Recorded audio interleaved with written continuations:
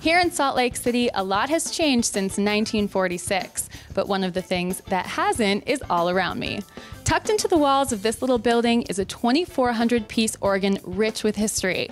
It's here at Edison Street Lofts that they host events all throughout the year, ranging from weddings to sock hops, swing dances, to my personal favorite, silent films.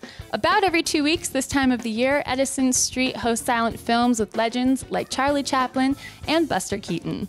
I don't know about you, but sounds like a great way to spend a Friday night. Let's go talk to Blaine Gale, the organist here, and learn some more.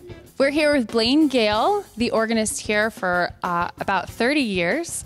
And uh, Blaine, can you give us a little background on, um, on Edison Street Loft? Surely. This place has been here long enough that it has become famous for the silent films and for all of the other uses, and you'll probably hear that from Larry a little later on. But the silent films are an art form that spreads the information of what's good about theater organs. And this monstrous theater organ here is the biggest in Utah, but we have three others. Capitol Theater's been here the longest, and then Peery's Egyptian Theater in Ogden, and then way up north, Michael Ballam has one in the Utah Theater in Logan. And that one I'll be playing some silent films for him as well eventually.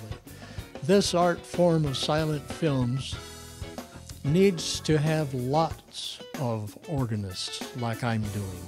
And so I want to pass the torch. We've got a list of students, but let's get more now. So, what kind of what do you envision for this place uh, in the next ten years? In ten years, more theater organists. we have theater organists here in Salt Lake who are already famous. One of them is Richard Elliott, a principal tabernacle organist who is loves this instrument. He came here on my 80th birthday, which was last May, and that tells me that I need to make sure that I use those events, like his connection, your connection coming here because of the arts that you folks are famous for in your your uh, particular broadcasts, and spread the word. Okay, great. Well, this looks kind of like flying a plane.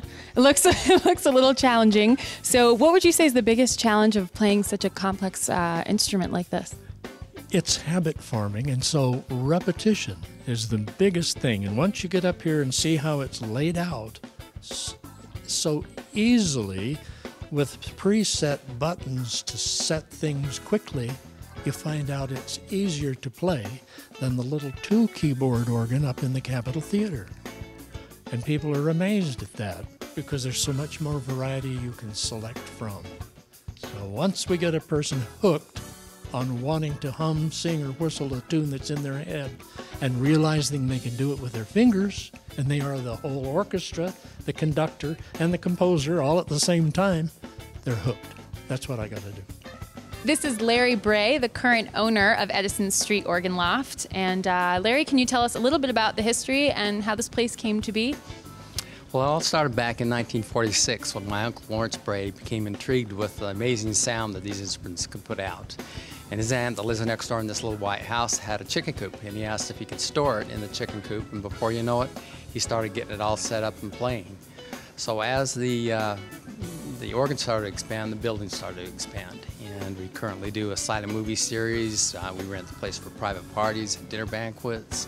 We do a Saturday night dinner dance party. Uh, so there's a number of things throughout the year that we do that's quite fun and special.